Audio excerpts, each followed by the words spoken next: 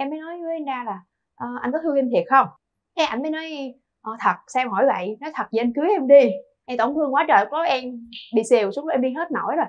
Em mới bò vô trong cái cái cái phòng. Em nói rồi vậy là mình lấy sai người rồi. Em bò vô trong phòng cái giới tay em lấy loại thuốc em tính tự giận. Không hiểu sao có em cảm thấy rất là nặng nề. Ờ. em đã nói sao mình ngu dữ vậy trời. Nem ngư cả cơm tươi nấu đậm đà chấm thơm ngon. Ờ, dạ, mà nhỏ nhỏ tặng cho anh chị ồ vậy đó hả? Ôi quà của mình em ơi. Quà của mình. thích quá thích qua thật, đi qua đi qua đi Đây, cầm đi Dạ, em. trời ơi đáng yêu quá bởi vậy thì là cảm ơn tụi em nhiều lắm. Hai lò bánh tét mai anh góc minh tân. Xin chào chị ờ, Hồng Văn và chào anh ờ, Ngọc Tuyên. Em ờ, tên Trình Thanh Đa. Hiện tại là em đang ở Cần Thơ và em đang kinh doanh bất động sản Bất và động thêm sản. một lĩnh vực nữa là thủy sản. thủy sản. Dạ, em bao nhiêu tuổi rồi em 33 tuổi. 33 tuổi mà ba giỏi ba dữ tuổi vậy mà giỏi dữ giỏi quá ha quá giỏi trời ơi Em- cưng nói rõ đi cưng nói giới thiệu rõ về luôn mình Dạ, em chào chị và chào anh ạ. Em là Phạm Phúc Ngân. Năm nay em 33 tuổi và em là bác sĩ thẩm mỹ da liễu. Em đến từ Cần Thơ. ừ. rồi cơ Sao? duyên sao mà hai đứa gặp nhau ta cơ duyên á- làm sao Cơ duyên á là em á là bạn thân bạn thân của em út của anh Đa. ừ. À, rồi á, em một lần tình cờ em đến nhà chơi à, mời được đến nhà của bạn thân em chơi thì em gặp anh Đa. Em Ừ. thích anh Đa. em thích liền luôn. Em thích liền luôn. Tức là thích ừ, anh đa là ở cái điều gì? Lúc đó. Em nhìn thấy là giống như trong một cái đám bạn em có chơi chung với em em út của anh đa thì em thấy sự chững chạc của anh ấy á, và anh ấy là nghe giới thiệu anh ấy là một người thành công rất là sớm. Mà trong khi đó nhìn thấy cái sự chững chạc ga dáng á, anh ấy đã ít nói nữa. Đúng cái phong cách rồi mới thích ra duyên số hay sao mà gặp cái là em thích liền em thích ổng luôn. Rồi lúc đó đa em có thích bé này không À, lúc lúc đó thì em nhìn cũng gọi là thích cái dáng kiểu sinh viên á, nó ờ, gọi là trong veo á. trong veo? Dạ. lúc ấy vợ em có đẹp như bây giờ không? Ừm, làn da có không tì vết như bây giờ không? Hay là lúc đó vậy thì mọc mụn? Lúc đó là đẹp hơn nhiều. wow vậy đó hả? Xưa Dạ. chưa có thẩm mỹ? Bây giờ nó thẩm mỹ hết rồi. Thì là bao lâu thì em biết được là bạn này để ý em? Và bao lâu thì bạn này bắt đầu để ý em. Và ai ai là người chủ động? Đó. Khi á mà gặp là em thích rồi thích xong rồi nhưng mà ông ấy lại có một cô bạn gái mà ông quen là 9 năm rồi tám chín năm gì rồi. Rồi sao em em trùng bước không? Hay là em quyết định là bây giờ mình phải lúc đó em không có biết. Ừ là ngay ngày hôm đó luôn là không biết nhưng mà mẹ chồng vừa gặp em á là mẹ rất là thích rồi. Ừ mẹ nói với ờ, em út là con ơi con làm mai cho anh của con đi. Ừ tại vì mẹ là mẹ không thích cô bạn kia ừ không có chịu lấy cô bạn kia. Thì ờ, mình về mình thích rồi thành ra là cũng lúc cũng không biết anh có bạn gái gì đâu. Ừ. rồi xong vài hôm sau đó cái là mới có cơ duyên là bạn thân ngủ đi uống nước thì ra là gặp ổng nữa. Thì bắt đầu trái tim mình nó loạn nhịp đó tức là cái người bạn ờ, em của anh đa là rủ em đi uống nước dạ nữa. đúng rồi đi chơi một đám bạn đi Ừ. ra ngoài uống uống nước với một Ừ. đám bạn luôn thì trong đó mới gặp gặp anh này nữa ừ. học ra anh này nữa cái lúc đó mình càng thích nhiều hơn nữa bối rối hơn nữa ờ, xong cái về nhắn tin giờ này em cũng còn thắc mắc là khi mà lúc đó nó không hiểu tại sao mà tụi em nhắn tin với nhau mà không có yêu đương gì nhau hết cũng không có nói ai thích ai cả chỉ là nhắn tin hỏi thăm thôi à, anh ấy nhắn tin hỏi thăm em xin số điện thoại của em hỏi thăm không biết có phải là nghe lời mẹ hay không ba ngày sau tụi em gặp nhau xong cái mới, mới xin số điện thoại trong ngày hôm đó nhắn qua nhắn lại và hôm sau là tới lễ tình nhân thì tụi em cũng chưa nắm tay chưa nói yêu đương gì hết thì trong Ừ. cái lễ tình nhân đó đó tự nhiên cái cô bạn của ổng gọi điện thoại cho em ừ. điện thoại cho em chửi em nói là tại sao mà lại quen bạn trai của tôi mà dùng số điện thoại của ổng gọi cho em cái em tưởng là ổng gọi ừ. mình nhân lên hết trơn cái bắt đầu ừ, nghe ừ. tiếng phụ nữ nó là bạn là phúc ngân phải không ừ. bạn ờ, tại sao bạn lại quen bạn trai của tôi bạn cứ tưởng đâu là bộ mẹ mẹ của mẹ của ảnh thích bạn á là anh ấy sẽ chịu bạn sao ừ. tự nhiên cái em lúc đó em hiền khô em khóc Hụt em nghe rồi. vậy tự nhiên hụt hẫng em nói trời trời chuyện gì xảy ra vậy bộ mình có chuyện gì vậy mình không có biết người ta có bạn gái không biết gì hết luôn Ừ, thật ừ, sự ừ. không biết gì hết luôn Ừ. em không hiểu tại sao em lại vậy em khóc không à. rồi từ đó về sau em biết rồi em hận ông này em hận ơi là hận luôn rồi em cắt bỏ em em xóa số điện thoại các kiểu luôn. Ừ. xóa hết trơn luôn. Con để chị hỏi đa này lúc đó em có ngồi kế bên cái bạn đó không? Rồi nhưng mà Nói- nhưng mà lúc đó trong lòng em em có em em có cảm thấy áy náy ừ, với với ngân không? Lúc đó thì nếu mà em muốn đứng ờ, em không đứng với ai hết tại vì cái bản chất của em á là em muốn là cho à, cho mọi người biết á, cho cái bạn gái cũ biết á, Ờ. đưa điện thoại để cho gọi đi gọi cho cho cho vợ em để ờ, biết là em với với vợ em á là chưa có là gì. chưa có gì chỉ là một người bạn đi uống nước. Lý do nào bằng cái cách nào mà cuối cùng là hai đứa tụi em đến được với nhau? Là em lấy ờ, ngân làm vợ. À, sau cái khoảng thời gian đó khi mà bạn gái cũ có liên hệ với vợ em á thì em cũng một khoảng thời gian thì cũng có quen tiếp tục nhưng mà mình suy nghĩ kỹ lại mình á, là chọn con đường á, vợ mình sau này á, là như thế nào đó rồi phải phải xứng đáng hay không thì lúc đó là em mới suy nghĩ thiệt là thấu đáo xong một khoảng thời gian đó là em sẽ chia tay với bạn gái cũ luôn Ờ, bao nhiêu Đó. lâu thì em gặp lại ờ, ngân em liên lạc được với ngân cỡ hai với ba năm hai học ba Hơn. năm hơn 3 năm Hơn. ừ. sau khi em ra trường ừ. sau khi em ra trường rồi em về quê em làm việc với cha ở nhà có phòng khám tại nhà. Thì khi đó đó là um, đám cưới của người em út. Rồi sao? Rồi ờ, câu chuyện xảy ra sau cái đám cưới đó thì sao? Sau cái đám cưới đó thì lúc đó là vô tình cha của em á, là muốn gả em cho một người.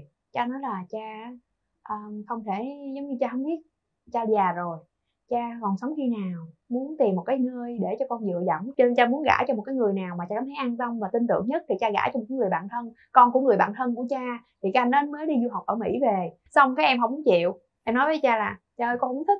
Cái cha hỏi có bạn trai chưa? Mày có người ờ, con có người yêu chưa? Nó đâu dám nói có nó có sợ bị đánh. Tại vì Ừ. không có dám. Ừ. xong cái ờ, nói con chưa cái không chịu cái chồng nói nếu như không chịu cho thuyết phục hoài không chịu khóc lóc đủ thứ hết cho không chịu cho nói nếu như không chịu cho tự giận. Cái vừa nhắn tin lại tầm khoảng tháng mấy hai tháng cái gì nhắn tin lại một tháng mấy hai tháng thôi thì ờ, em mới nói với anh đa là "Ờ, anh có thương em thiệt không? Cái anh mới nói ờ, thật. Sao em hỏi vậy? Nói thật vậy anh cưới em đi. Chủ động ngỏ lời trước luôn. Dạ đúng rồi kêu cưới. Rồi á. Vợ em hỏi em câu đó rồi là lúc đó em sao? Cảm xúc em sao? Lúc đó là cảm thấy là dính rồi lúc đó là mình đang ờ, công kích mà mình đang là cua mà. À. cho nên mà nghe cái câu đó là là là nói chung là đạt được rồi.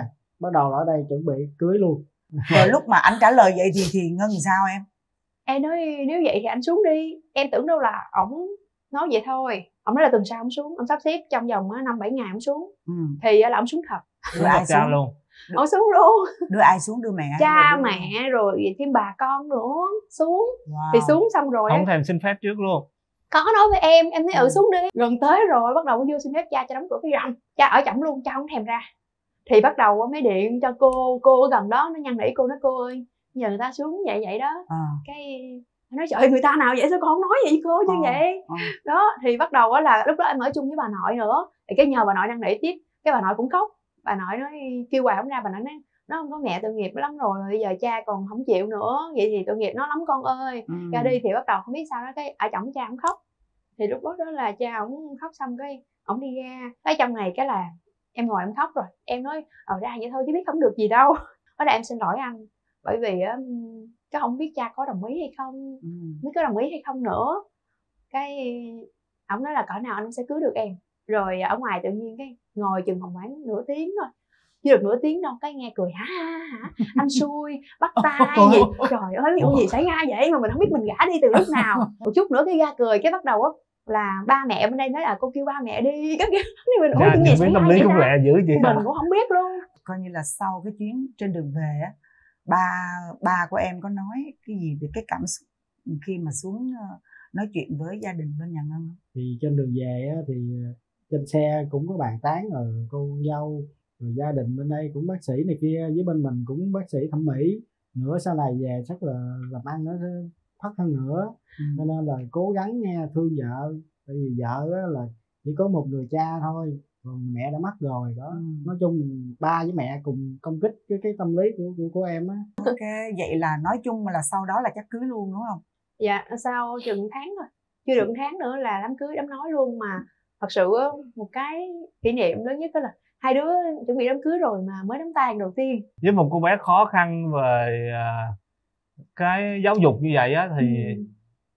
là em có vượt được rào cản trước không À, đối với em á, thì giống như em quen bạn gái cũng là cũng thời gian khá dài bảy tám chín năm ừ. thì đối với em á, là trong cái chuyện tình cảm á, là phải cho nó nghiêm túc ừ. đó.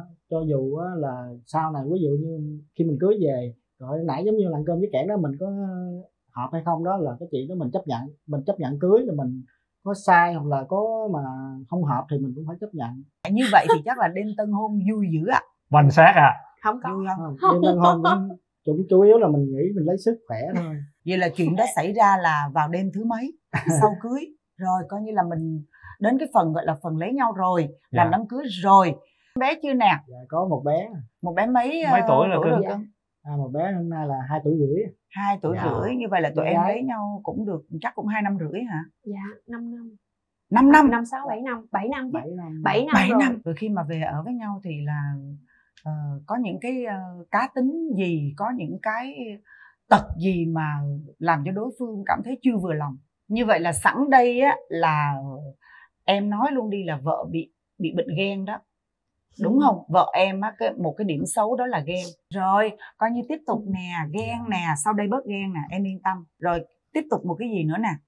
Thấy vậy chứ hung dữ lắm. Hung dữ hả? Ừ. đâu thấy mau nước mắt lắm mà.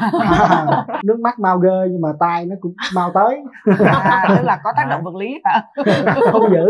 Hung dữ có tác đó, động tác vật lý động vật lý không? đó cũng có một chuyện đâu em kể nghe coi em nói những cái uất ức của em cho chị nghe coi có gì chị phụ cho à, em chở vợ đi ờ, dạo. Ừ. rồi em thấy cái cái ờ, cái xe mà gọi là chở ờ, mấy cái bạn biri á mấy mấy bạn nữ không đó. Ừ. cái em, em mới nói ờ em ơi em ơi xe gì sao chở phụ nữ không vậy? Ừ. là bà này bà hừng lên rồi. Bà hừng sao? Bà hừng sao? Hừng lên vừa về tới nhà. Cái đầu cái mở cửa ra ha cầm nón bảo hiểm đánh rồi đánh em luôn hả? Đánh luôn không nói gì. đau không? Không lúc đó là mình đội nón bảo hiểm. À, À, chứ không cũng còn khôn Vậy ngồi ở sau ngồi ở sau cỡ nó có rồi, lúc đó đa xử lý làm sao? Lúc đó em giải thích nó ủa tại sao đánh anh vậy? Thì bà này bà khóc luôn tại mất nước chứ lắm. Ừ. khóc rồi vừa khóc vừa nói. Rồi xong cái rồi em quạo em nói tại sao mày đánh tao? Bà, Lần đầu mà tiên- khó chịu đau. Bà này bà, ờ, đúng rồi mình Lần mình đâu có làm gì đau đâu mình chỉ nói vậy thôi mà mà tự nhiên cái đụng đánh mình. Ừ. tại sao mày đánh tao? Ừ. cái bà này bà nghe cái câu mày gì đó nó Khóc bạo hơn nữa. Tại vì em là một người không thích nói chuyện kiểu đó. Ừ. em là một người Ừ. thích nói chuyện ngọt ngào Ừ. nhẹ nhàng. Cái tự lần đầu tiên mà ổng nói với mình câu đó. Và khi đó ông vừa mới sai nữa em tổn thương quá trời đó em bị xìu xuống em đi hết nổi rồi. Em mới bò vô trong cái cái cái phòng em nói rồi vậy là mình lấy sai người rồi. Em bò trong phòng giới tay em lấy loại thuốc em tính tự giận.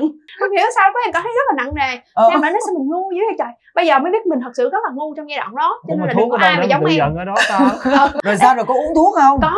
trời Kiểu ơi vậy lúc đó. đó em sao đó em kể tiếp. em kể tiếp chị nghe. Ờ, lúc mà đánh em rồi ha là lúc đó em bạo rồi. Ừ. tính giơ tay đánh lại mà thôi dùng bỏ nó em đi luôn đi Ừ. chỗ khác. Ừ.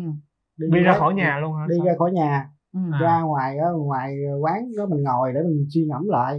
Rồi bà nghe tin nhắn của bà này tự giận này kia là mình hết hồn. Về á chạy kiếm vòng vòng vòng vòng nhà không có. Cái thấy cái cửa này phá rồi mình mở không được. Kêu qua không nghe. Đạp cửa vô thấy bà này bà đang uống thuốc thuốc tùm lum hết trơn. Rồi bắt đầu cái bắt đầu đem lôi vô toilet đổ nước vô chậm cho ối ra. Ừ. sốt ruột luôn. Hai điểm xấu quá là Dạ. sốc nổi. Tức là một cái là ghen nè một cái là sốc nổi còn cái nào nữa không? Nói đi chị phụ cho nhá hung dữ đó chị. Hung hung dữ. hung dữ. ba tật xấu luôn hung dữ. Có gì nữa? có gì nữa? Ở trong ba cái tật đó em mong vợ em khắc phục được cái tật gì? Bây giờ khắc phục được chưa? Bây giờ còn bao nhiêu phần trăm? Về cái tật hung dữ là khắc phục ờ, cỡ còn 30 phần trăm nữa thôi. còn ba mươi phần trăm. Dạ. rồi cái ghen? Ghen là 90 rồi vẫn còn 10, chín mươi phần trăm. còn một chút xíu ghen à còn 10 còn 10 phần trăm ghen thôi hả? Dạ. Không phải giữ phải giữ 10 phần trăm đó thì mới có ồ thì chỉ còn 10 phần trăm thôi đúng không? 10 phần trăm đó ghen với nhỏ con gái nhà nữa. À thôi tôi vậy ngon rồi. Còn cái sốc nổi cái sốc nổi. Cái suy diễn á chị. Suy diễn đó. À suy diễn. Cái sốc nổi bây đó, giờ bớt chưa suy bớt diễn cái là đó hết rồi tại vì bây giờ chững chạc rồi. Hết suy diễn rồi. Ủa vậy ngon quá Chỉ một rồi. lần trong giờ bây giờ ngon rồi đúng chỉ không? một lần trong đời. Giờ em mong muốn vợ em ờ, bớt luôn cái 30 phần trăm đó không? Không anh nghĩ nên giữ á. Giữ để kìm em lại. Giữ đi kìa để kèm em lại. Coi như không mong muốn vợ thay đổi điều gì luôn. Không em không muốn hoàn hảo như một trăm trăm nhưng mà cũng phải có một chút gì đó. Đó bây giờ tới em đó. Chồng có Dạ. tật xấu gì em nói thử coi. À, tật xấu thì em nghĩ là cũng không có gì nhưng chỉ duy nhất cái là rất là ít nói. Ừ. lạnh lùng hả? ít nói đúng rồi hot boy lạnh lùng. Em ghét cái tật lạnh lùng lắm. Bởi vì á, tại sao em hung dữ vì ví dụ như có một câu chuyện gì đó đi thay vì hai đứa cùng ngồi với nhau giải quyết là xong rồi. Bữa này không bao giờ nói chuyện. Em nói thôi em nói cho đã em rồi thôi rồi hôm sau em em chưa nói được hết chưa giải tỏa hết thì bắt đầu em nói lại. Cứ nói đi nói lại. Đó thành ra là mới hung dữ. Chứ thật sự nếu như mà nói chuyện lại với em thì chắc là không hung dữ như vậy. Ừ, có nghĩa là ờ, ít nói nè. Ừ, à, ít ít nói lắm. nói nè lạnh lùng nè. Dạ đúng rồi. Rồi có lãng mạn không? Lãng mạn thì khi nào thấy em ờ, giống như giận rồi mới lãng mạn cái đó là cú cú. Rồi em có mong muốn anh thay đổi gì không? Em mong muốn là chồng em sẽ nói chuyện nhiều hơn với em để chia sẻ nhiều hơn. Ừ. chỉ vậy thôi. Kể từ hôm nay ngày mai về em nói hoài cho nhức đầu luôn. Em nói khi nào bà sợ tôi chưa? Nhưng mà cái kiểu mà không nói là do em làm biến nói hay là đó là từ đó giờ em cảm thấy em im lặng thì nó sẽ đúng với cái cái sở thích của em hơn? Tính em thì ít nói thiệt nhưng mà cũng có nói. Nhưng mà do là mình thứ nhất là do mình trong công việc á mình nhịn vợ á có thể là vợ lớn tiếng quá hoặc này kia mình không cần nói luôn mình im lặng luôn. Để mình tự giải quyết hả dạ. À, tại vì em là bên bất động sản. Dạ là em sẽ phải ờ, rất là uyên bác rất là nói Ừ. ờ, gọi là Dạ. nói chuyện để với khách hàng á dạ, là sẽ phải rất là uyên bác đó chứ không phải là người kiệm lời đâu dạ. đó mà lý do là em không nói chuyện nhiều với vợ là nó phải có nguyên nhân đó thì thành ra là đó em, em nghe không em nghe chồng nói không là bởi vì nhiều khi ờ, vợ ờ, ờ, nóng tính quá cho nên là nhiều khi anh nói có thể lúc đầu anh nói xong rồi là không thấy cái sự đồng điệu của vợ á, thì tự nhiên cái làm biến nói luôn. Không nói nữa không không không lâu ngày nữa. cái nó nó trở thành cái nó tạo thành một từ lúc mới cưới là từ lúc mới cưới em là mười mấy năm nay tới giờ rồi là tính anh nó như vậy rồi. Đã như vậy luôn rồi bởi vì em mới em tại sao mà em lại có một cái suy nghĩ là ông vẫn còn yêu người kia là bởi vì cái cách á cái cách á cái cách của anh ấy là không có nói chuyện với em nhiều và cũng thật sự từ lúc cưới em bây giờ mà nói cái câu mà anh yêu em á chắc đếm trên đầu ngón tay. Thôi bây giờ thay đổi đi. Sau ngày hôm nay mình thay đổi có thể về hai vợ chồng mở lòng ra tâm sự chia sẻ nhiều hơn. Ví dụ như em cần cái gì em cứ chia sẻ là đa đa cần gì hai chồng chia sẻ với nhau cũng là một cái thú vị chứ bộ. Tức là khi mà mình đã ờ, chọn nhau có nghĩa là mình đã tự chọn hạnh phúc cho mình thì mình phải chọn yêu thương để mình đối đáp lại với cái đối Ừ, phương của mình đúng không? Dạ. Chứ ờ, bởi vì cái đó là là là do mình chọn mà dạ. đúng không? Thành ra là à, mình chọn yêu thương để mình áp dụng với nhau để rồi mình sẽ thấu hiểu nhau nhiều hơn. Thì chị nghĩ là ừm, có thể cái nguyên nhân đầu tiên á là do ảnh hiểu được là em vẫn còn có một cái gì đó nặng lòng và ấm ức với cái mối tình cũ của ảnh.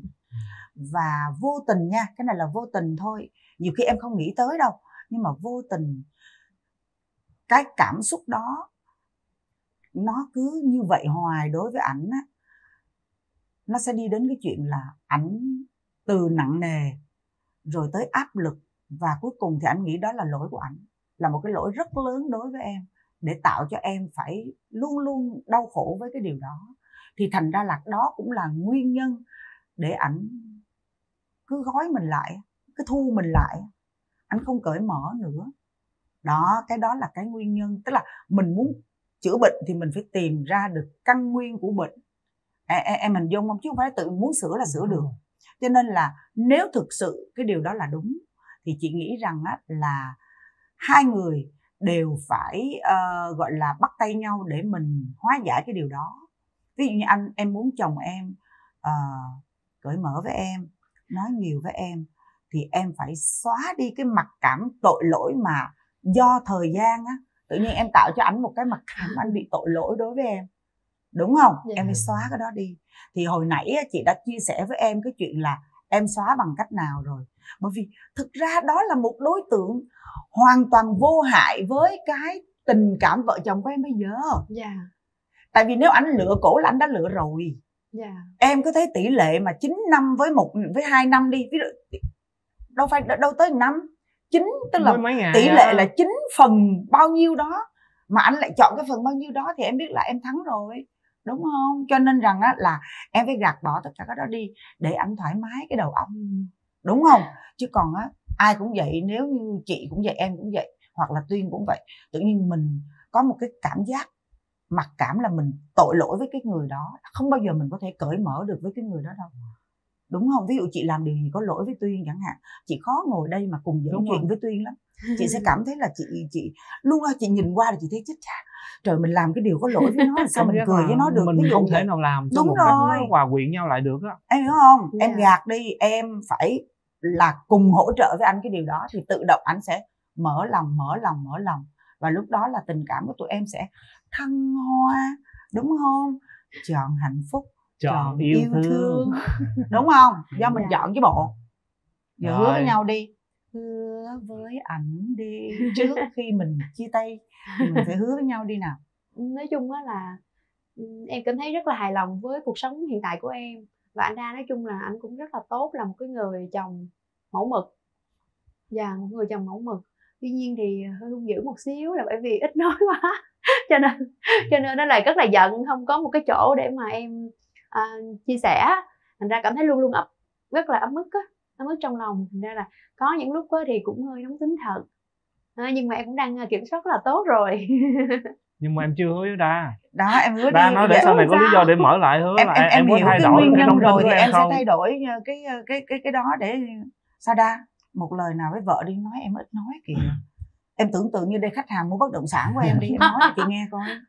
À, thì ra thì qua cái chương trình này thì anh cũng uh, rút được cái ờ, nhiều kinh nghiệm cũng nghe em ra được cái tâm sự của em mà em không dám nói với anh thì anh sẽ hứa là sẽ mở lời với em hơn mở lòng với em hơn và sẽ cùng chia sẻ với em hơn.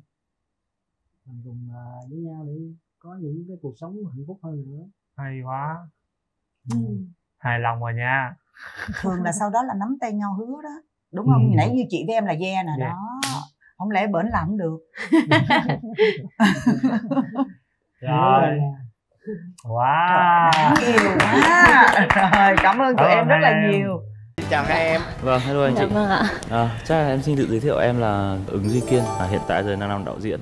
rồi con em Dạ, em là Huyền, em à, 32 tuổi. Hiện tại em à, kinh doanh cửa hàng à, váy cưới. huyền 32 rồi kiên Dạ. bao nhiêu Em uh, 27 tuổi, vậy là kiên bị già hơn huyền nhiều lắm á nha em bị già hơn nữa. cái tình yêu của các bạn bắt đầu như thế nào Bọn em à, gặp nhau là ừ, vào một cái ngày làm việc. À, bạn này bạn quay, còn em thì à, làm make up. ừ. Thì đợt đấy là bạn này bạn đang à, buồn.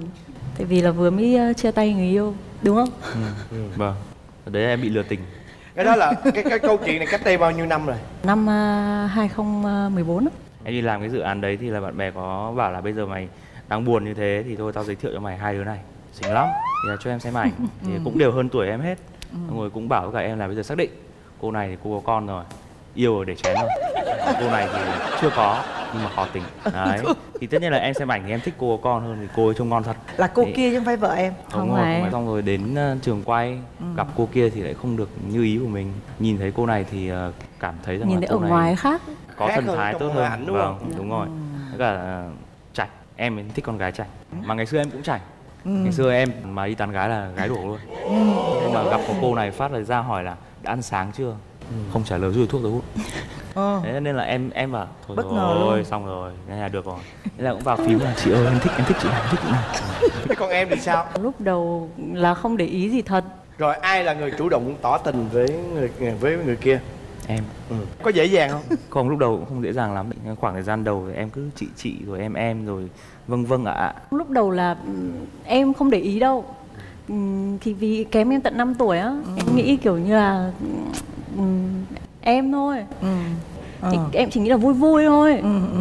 Xong cũng ngoan lễ phép. Thì xong lần đầu có tiên tình cà phê cảm với nhau là ngồi nói chuyện nhau bốn năm 4 năm tiếng luôn. Ừ. nhưng mà lúc đó là tụi em ừ, làm việc ngoài kia hay là trong này? Dạ ngoài kia. Ạ. Bọn em cưới nhau xong rồi em vào à ừ. cái cái lần mà anh ấy tỏ tình với em á Dạ. thì nó như thế nào? Và lúc đấy là đi ờ, đưa nhau đi ờ, đi chơi về Xong rồi nhắn tin Nhắn đến tận 2 giờ đêm. Tự đưa đẩy mà nhau tỏ thôi. tình là tình qua điện thoại thôi. Tin tin chat đấy là nhau hôm sau người yêu nhau luôn. Nhưng mà lúc đó là em đã xác định rằng là cái tình cảm mà em dành cho cô này đó là thật lòng. Bọn em có nói với ở nhau yêu nhau thì mình cứ biết rằng là mình thứ nhất là mình yêu nhau mình phải thật lòng thứ hai là mình sẽ không, Không gây phốt cho nhau. gây phốt gì cho nhau hết. Ừ. thế là được rồi. Còn cái chuyện mà có như thế nào thì cái đấy tính sau. Rồi à, các em làm cái công việc là làm phim thì chắc chắn là sẽ thường xuyên à, đi xa. Vâng. Đó. Dạ. thì đi xa thì có đi xa không? Đi xa có đi xa là như nào? Tiếng là mà đi xa đó thì có đi xa. Ý anh thuận hỏi em á là em có chén không đấy? Có chứ. Đấy.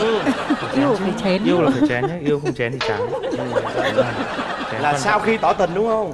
Đúng rồi khi- nhiên rồi ừ các lần đầu các bạn đi Vâng. thì là nó là ở đâu?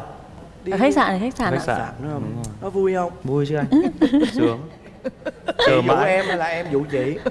Chắc là cả hai dụ nhau. Hôm đấy ra là à, vợ em có hơi mệt mệt. Em bị ốm. Hai người đi xem phim với nhau. Đấy xong rồi em mới bảo là đi xem Thôi, phim và mắt thì nhìn vào phim nhưng mà đầu nghĩ chỗ khác. Đúng không thôi giờ về nhà sớm quá rồi thì nhớ nhau không chịu được. Ừ. ra ngoài đi vậy khách sạn đi. Ừ. thế là quyết định là đi khách sạn ở với nhau. Và ấn tượng. Chắc là trước giờ em toàn yêu trẻ con nên là nhìn thân thể của trẻ con em cảm thấy không thoải mái. Bởi vì trông trẻ quá. Mà yêu người phụ nữ trưởng thành nhiên là nó sẽ là làm cho em bị cuốn hút hơn nhiều. Vừa vào phóc là, là nhìn là em muốn luôn rồi. Chén luôn nhìn muốn chén luôn rồi. Rồi cái chuyện tình cảm của em á với với bạn gái em lúc đó đó cái tình yêu của các bạn có công khai không ừ, bọn em ờ, phải khoảng ờ, ba bốn tháng sau bọn em mới công ba bốn khai tháng sau đúng. gia đình mình đón nhận cái cái cái việc đó như thế nào gia đình là phải 5 tháng sau ví dụ. ừ. khi mà bọn em đã xác định bọn em đến với nhau rồi á bọn em ờ, cùng nhau kinh doanh đến khi mà ra mắt bố mẹ hai bên cũng rất là thuận tiện gọi là các cụ phải tin rằng á là hai đứa đến với nhau là chúng nó có thể vâng. Dạ. xây dựng một cái gì đấy tạo cơ đồ đó Vâng. ờ cái quán đó là ở hà nội. Vâng Dạ. còn đấy bây giờ là tụi em đang ở ờ, sài gòn. Dạ vâng, vâng, bây giờ việc em em cư trong này Đúng vâng. rồi ạ. Ồ là tụi em có em bé chưa? Dạ em có rồi. Không động phòng dính luôn. Tụi em bắt đầu lập nghiệp đây thì mọi thứ nó suôn sẻ như ở hà nội không? Xong có nhiều. Ở ngoài kia thì bạn ấy cũng có một chỗ đứng rồi mà vào đây thì mình cái gì nó cũng mới ạ. Gần như rằng là thời gian đầu bọn em ờ, không có công việc gì. Là 5 tháng là em- năm sáu tháng liền. Sau 5 tháng thì là mình khẳng định được cái vị trí và cái chỗ đứng của mình thì không không chính- không không chính phải không phải. hơn. sau 5 tháng thì ờ, bọn em có em thì em em em lúc đấy thì em mới chuyển sang làm đạo diễn. Lúc đó À, thì em làm gì? Trước đấy em làm quay phim với cả đạo diễn hình ảnh. Rồi là ở đây luôn chứ có ra hà nội trở lại không? Có gần tết thì em ra ừm, hà nội thôi. Ra trước khoảng một tháng vì kiên còn bận việc ở trong này. Vợ với lại con là ôm nhau ra bắc vâng đúng rồi. Mình kiên trong này luôn. Đúng rồi. lúc đó kiên sao? Ôi hoảng lắm chị. Hoảng. Hoảng ừ. hoảng hoảng sợ hoảng luôn. là hoảng sợ luôn á. Hoảng sợ luôn. Rất nhiều thứ phải lo. Ừ. lúc nào cũng lầm lũi ở nhà một mình. Có bị stress không? Stress chứ anh em trầm cảm luôn. Vâng. giải quyết cái trầm cảm đó bằng cách nào? Ra với vợ thôi. Tức là như vậy là ông ông ông kiên ông trầm cảm là vì ông nhớ vợ nhớ Vâng. con. Nhưng mà cái triệu chứng gì mà em em em khẳng định rằng đó là trầm cảm? Em hay nghĩ linh tinh xong rồi em cứ đi đi lại lại trong nhà nhiều rồi làm một cái gì đấy em cũng bị đắn đo. Rồi em thức đêm nhiều này rồi uống cà phê nhiều này rồi làm việc cũng quá sức nữa các thứ nữa. Nên là mình bị cục tính làm cái gì cũng muốn chửi làm gì cũng muốn đánh người khác. Ừ. đấy. Nhưng mà nên em đó- cục xúc từ Ừ. đấy là cục xúc. Lúc đó em biết không? Đến lúc mà bạn ấy ra rồi ấy, em gặp chồng em rồi thì em em hơi, hơi hoảng. Bởi vì em em thấy rằng là khác em biết Ờ. em nhận không được kiểu luôn. tình cảm nữa không không kiểu tình cảm giống ngày trước. Lúc đó chắc xuống sắc lắm đúng không Kiều? Xuống lúc lắm đấy bạn ấy gặp em mà bạn ấy mừng như là trẻ con được đi Trời ờ, đi đi đi đi, đi thôi ờ, mà em thấy như thế mới là mới là kiểu cảm xúc thật ấy cũng cũng cũng, cũng hay mà. Ừ. đâu nhưng mà Kiểu bạn kiểu- nói như thế nào? Bạn bạn ấy kiểu ví dụ nếu bình thường đi chơi thì ít khi bạn nhận xét tiêu cực lắm. Nhưng mà đi là toàn nhận xét tiêu cực thôi. Xong rồi về tối về toàn ôm vợ xong rồi bảo rằng là cái thời gian qua anh nhớ em lắm cả Hay buồn thì- lắm. Tức là mọi thứ nó nó đều trở nên gọi là hơi hơi quá một chút Đúng rồi. đúng rồi. Mà Thôi đơn nói giản em đi trên đường thôi mình nhìn thấy một cái xe đặt ngang đường rồi em cảm thấy khó chịu và rất là ghét và muốn tìm chủ xe để chửi cho người ta một trận vậy hả? Xấu xí và đánh đá kinh khủng khiếp luôn. Trầm cảm như kiểu trầm cảm thay vợ. Trầm cảm sâu sinh xấu xí đấy. Rồi bây giờ thì tất cả mọi thứ là yên ổn hết rồi đúng Dạ không? vâng. anh ấy có tật xấu gì không? Tật xấu của chồng em thì ờ, có chưa ạ. Thì gần đây là hay cọc cằn Ừ. hay hay to tiếng mà ngang á. Vâng, Vâng. em bị cục ngày tính. trước thì bạn ấy không nóng như thế đâu. Rồi bây giờ tới em nè. Bây giờ ừm, vợ em có tật xấu gì không? Hiện tại thì em chưa tìm được thì hiện tại bây giờ là em vẫn cảm thấy vợ em tâm lý vẫn đẹp. Em bừa bộn bừa Ừ. bộn hơn chồng em nhiều. Ừ. đi đâu du lịch hay như thế nào á là toàn chồng em sắp vali thôi à. Tại vì em mà sắp thì lát sau chồng em ra chồng em bỏ ra sắp sắp lại. lại. Nó đổ hết ra. Nhưng mà cái, cái điều đấy bạn cũng không quan yêu trọng. em quá là bạn Chắc không là- nhìn những cái nhỏ nhỏ nhỏ đấy. Đúng rồi. Vì em cũng không không hay để ý tới tật xấu của người khác. Chỉ cái gì nó trướng mắt quá ở đầu thì mình mới nói thôi hiện tại nó hoàn hảo. Vâng. Hiện tại Như vậy chắc chắn là- dùng từ hiện tại. Chưa biết được tương lai như nào. không, không không cần gì phải thay đổi đúng không? Vâng đúng chính xác. Em có mong Em- chồng em thay đổi gì? em chỉ mong là chồng em à, thứ nhất là bớt ngang hơn ừ. với cả nhẹ nhàng hơn thôi. Có nghĩa là trở lại như là kiên của ngày trước á. Ừ. kiểu kiểu Vâng đấy.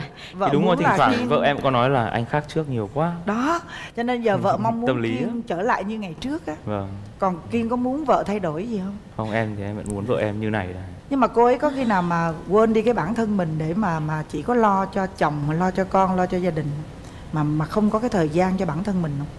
Em á. Có chưa ạ. Đó. Nhưng mà thật ra nó nói có hay có thế em thấy vợ em vẫn đẹp lúc mà vợ em đẻ xong ấy, thì cũng mất khoảng 2 năm ở nhà chỉ có nuôi con rồi đọc sách về bỉm sữa rồi Ừ. tất cả các chủ đề cũng đều chỉ vì là con thôi. Ra ngoài gặp bạn bè của em hay bạn bạn của cô ấy thì cũng toàn nói chuyện về về những cái vấn đề như thế nên là em cũng kiểu cố gắng để làm sao để cho vợ em đi ra ngoài nhiều hơn rồi quan hệ nhiều hơn rồi làm đẹp nhiều hơn. Vì thật ra đúng đất đấy là tuỳnh toàn. Ừ. trông cũng chán chán nhưng mà em là một anh chồng rất là tâm lý á chứ. Vâng. Đối với tụi em á chị cảm nhận một điều á là kiên ờ, rất là thương vợ.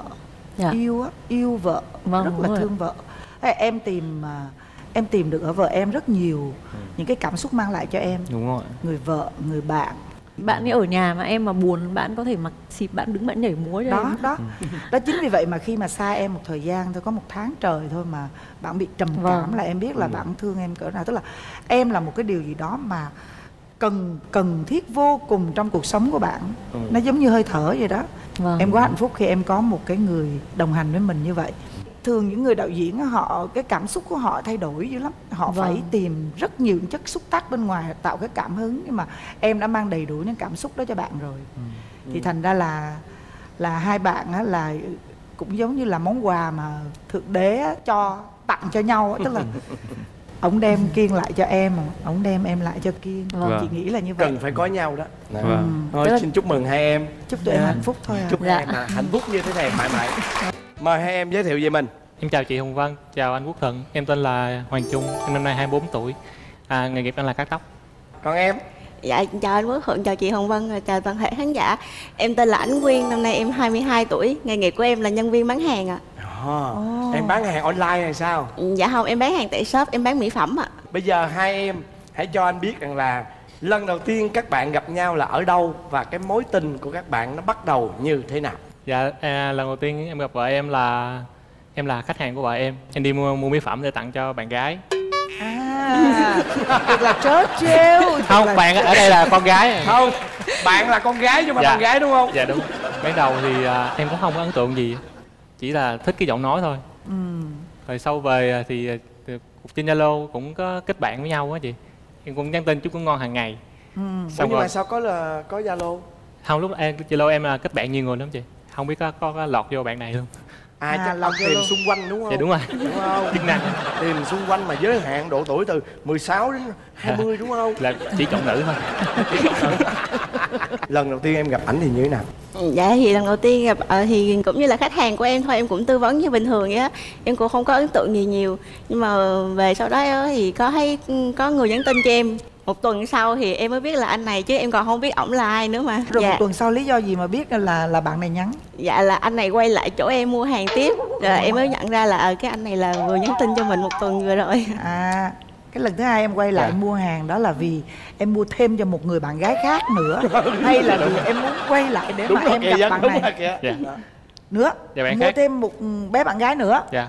Cái bạn gái nhiều dữ bay bạn là con gái chứ không phải là bạn phải không bạn là con gái là Dạ đúng rồi. Bạn con gái. đến bao lâu thì em mới chính thức tỏ tình với cô gái này? Một tháng sau thì một tháng sau. Và tại sao em lại tỏ tình với cổ? Em cảm thấy là sống là không thể thiếu cổ. ừ nhưng mà em biểu hiện như thế nào khi mà em bắt đầu thả thính ngoài Dạ, cái chuyện bữa- nhắn tin ra thì còn thả Đó. kiểu gì nữa? Dạ thì ờ, em nhớ là lúc đó là em còn đang đi học bổ túc vừa học vừa làm á chị. Thì ờ, anh cái này cứ ngày nào cũng đưa em đi học. Tới giờ em đi làm thì chở em đi làm Rồi đưa em về mua đồ ăn cho em, mua trà sữa. Cái ngày nào cũng vậy cứ liên tục trong vòng một tháng. Thì ờ, hôm đó thì ờ, ngày 20 tháng 10 á Bình thường thì hay đưa em đi về cũng mua đồ ăn Hôm đó không mua đưa em về nữa.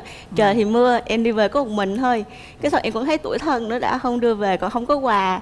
Cái xong rồi em mới vừa vô trong nhà lòng thì ấm ức lắm vừa mới vô nhà thì anh này điện ờ, kêu là ờ, ra ngoài đi anh có bất ngờ cho em. Thì em ra ngoài thì thấy anh này mưa ướt tầm tã vậy đó không mặc áo mưa gì hết. Ừ, đưa cho em cái hộp quà mở hộp quà ra là cái cây son mà cái màu em thích nhất luôn. Dạ anh còn dùng khổ nhục kế nữa là anh nói là anh bị té xe trầy tay trầy chân vì đi mua quà cho em. Thế là em cảm động của em đồng ý luôn. Ờ, dính luôn. Dạ. Mà đừng có nói cây son nó mua tại cái tiệm cô này dạ. luôn nha. Em canh vợ em làm về mới mua cho tạo bất ngờ cho vợ y chang vợ em không biết gì hết. Ờ ờ ờ tức là mua cây son của tiệm em để tặng Dạ. cho em luôn. Dạ. Trước khi cưới là có đi đâu chơi xa với nhau không? Dạ có. Rồi em có đi ờ, Đà Lạt. Lần thứ hai thì đi về miền Tây. Chuyến nào vui? Dạ, Đà đi- Lạt vui đi không? Đà Lạt vui hơn. Vậy hả? Nó Dạ. vui làm sao em? Đi. Dạ đi ờ, em hỏi đi. Ờ chị biết em muốn hỏi gì luôn á. Đi Đà Lạt bao lâu em? Dạ đi ba ngày ạ. Ba ngày. Dạ. Ở khách sạn ở chung ở riêng? Dạ chung. Ở chung có gì vui không mấy đứa?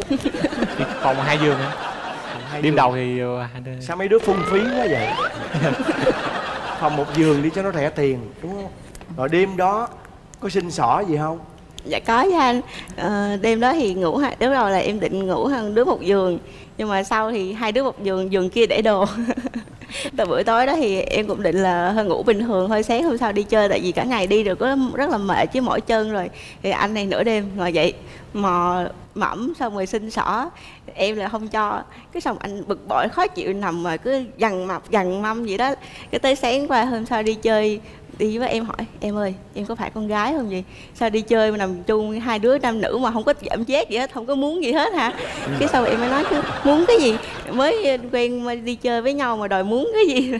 Cái xong rồi tối hôm thứ hai cũng là đòi tiếp. Em lại sợ quá em mới khóc em đòi đi về. Anh này nằm ngay cửa khách sạn á nằm đó với ôm cái ba lô này nè không cho em đi ra khỏi mở cửa. là nhắc ngang cửa luôn. Dạ. Ừ. tức không cưng tức hay là tuổi? Dạ về nhưng là thấy uh, hụt hẫng cái gì? Hụt hẫng? Vỡ kế hoạch của mình. Vợ Đó, cái tại vì đi Đà Lạt là cái cũng hừng hực khí thế. Dạ đúng rồi. Ai ngờ hai đi đi nằm trắng cửa. À. rồi là giữ gìn như vậy cho đến lúc cưới nhau luôn dạ ờ, tới lúc gần cưới em cũng có chuẩn bị tâm lý rồi tại vì nghĩ là hai đứa sẽ cưới nhau. Thì chuyện đó thì sớm muộn cũng sẽ có thôi. Em có tìm hiểu với mấy chị mà có kinh nghiệm rồi á thì mấy chị nói là không sao đâu. Ờ, cảm giác đó là sảng khoái với lại là giảm stress cho cả hai nữa. Nên em cũng chuẩn bị tâm lý như vậy nên là em cũng không có sợ gì nữa. Các em bây giờ có con chưa? Dạ hiện có em bé được 6 tháng ạ. À sao hả các em lấy nhau được bao lâu rồi đã cưới được cũng năm bảy tháng. Rồi bây giờ ở với nhau được một năm bảy tháng thì các em còn quá trẻ, quá son. Vậy thì tật xấu nó có lòi ra không? Có nhiều tật xấu không? Dạ có nhiều lắm chị. Ừ. em sợ kể hết chương trình này người ta cắt đi về hết. Em còn chưa kể xong nữa. Thôi bây giờ mình kể đại khái thôi kể những cái nào mà Kể xấu nhất cái- đi. Có một lần á là em làm mất cái bông tai của mẹ em mua tại vì lúc đó là em không có đeo bông. Mẹ em chồng em mới mua cho một đôi thì lỡ đó em làm rơi rơi trong nhà tắm á. Ừ. em chưa tìm thấy thì chồng em rất là quý những cái món quà mà mang giá trị là kỷ niệm á chị. Nên là chồng em mới la lớn tiếng là la cái đồ không biết giữ của. Em nghe cái câu đó rất là nặng em rất là buồn em khóc nhiều lắm mình bị Sụp đổ dạ, vậy sụp đổ sụp cái hình đổ tượng mà ừ. người chồng của mình ờ. nhưng mà sao có tìm được không dạ có chị nó rơi trong nhà tắm thôi dạ. ờ trời chưa gì đó đó là một tật xấu lớn tiếng với vợ. Rồi rồi. gì nữa? Chồng em nói nhiều lắm chị. Em nhân viên bán hàng em đã nói nhiều rồi chồng em nói nhiều gấp đôi em. Em không thể nào chịu nổi em đi làm về rất là mệt rồi. Chồng em nó cứ lại nhảy ờ làm cái này chưa làm cái kia chưa sao chưa làm? Cứ nói nó riết nó riết em không thể nào chịu nổi. Em đã rất là chịu chết luôn em chỉ cần chồng em tắt cái đài giùm em cái là em đỡ mệt liền. Khỏe luôn đó. Dạ, nói nhiều hơn nói em. nhiều. dạ Đó. đúng rồi. Có bao giờ mà gây lộn rồi rồi đánh lộn chưa dạ cũng chưa có đánh lộn nhưng mà lúc đó thì ờ, nói em không nghe em cũng bướng quá thì anh mới nóng lên ổng lấy cái điện thoại của em á, anh đập. Thì em mới cũng tức quá thì ờ, hai có hai vợ chồng thì có đánh nhau thì là anh tát em một cái thôi. Dạ thì em cũng có đánh lại. Sau đó Ờ, rồi- vô phòng khóc rắm rứt hay là làm gì? Dạ không em gọi về cho mẹ em nói là con bây giờ con về mẹ ở con không ở đây nữa. Ở đây ai cũng ăn hiếp con hết trơn á không có bên vực gì con nữa. Thì sau đó thì mẹ cũng giải quyết cho hai vợ chồng ở lại với nhau thì kêu là vợ chồng giận thì đầu giường cãi nhau cuối giường hòa. Nên là tụi em cũng hòa lại với nhau thì không có giận cái chuyện đó nữa. Ừ. rồi bây giờ còn gì nữa không? Ở nhà có chơi với con không? Có chăm sóc con kỹ lưỡng không? Dạ cũng chăm sóc con cũng thương con lắm.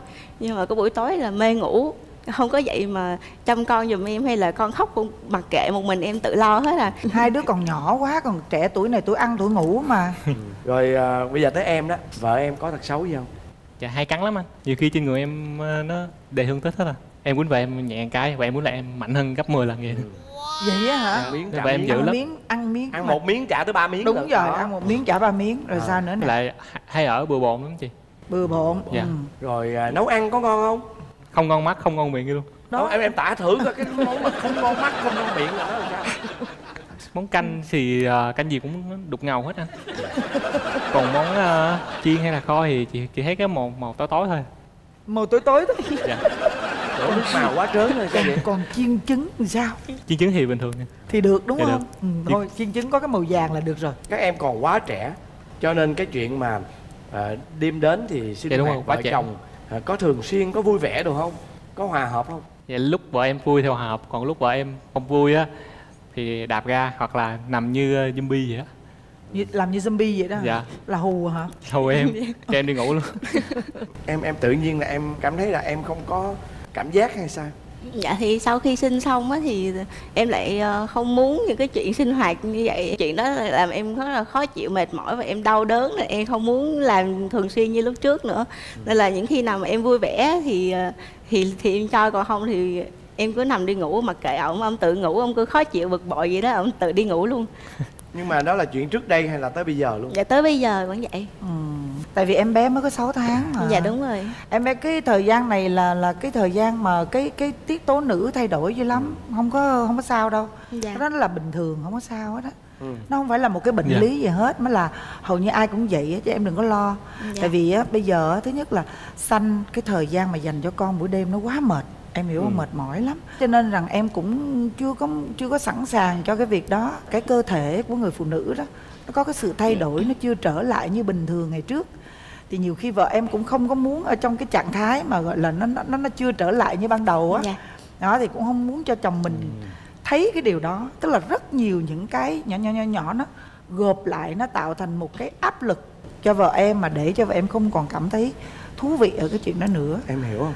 Thành ra là cái điều đó nó bình thường thôi cưng Dạ. em phải hợp tác với vợ em để cho vợ em giải tỏa được tất cả những cái điều đó. Ừ. thì sinh hoạt vợ chồng trở lại bình thường thôi. Bây giờ mong muốn vợ thay đổi điều gì? Dạ em muốn muốn vợ em là bớt giận hờn lại.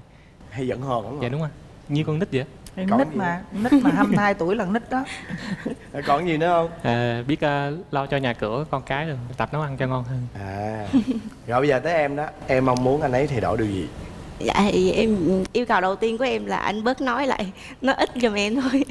Dạ. Yêu cầu thứ hai là Ví dụ bữa hôm nào mà em có đi làm mệt á Thì anh chăm con phụ em Hai đứa thì cùng chăm nhau chăm con thôi Đừng có để một mình em em chịu không nổi. Dạ. Ừ. chia sẻ đấy em. Đúng rồi Nhiều chia khi- sẻ với em. nhiều khi chia sẻ ban đêm nhiều khi cô ấy sẽ trở lại sớm. À. đúng không nào? À. rồi, rồi gì nữa? Em mong muốn chồng thay đổi gì nữa? Dạ chỉ hai điều đó thôi chị. Dạ. Ừ vậy em làm được không? Dạ được em cố gắng. Đúng không? Cố gắng nha cố gắng chia sẻ với vợ đi. Rồi xin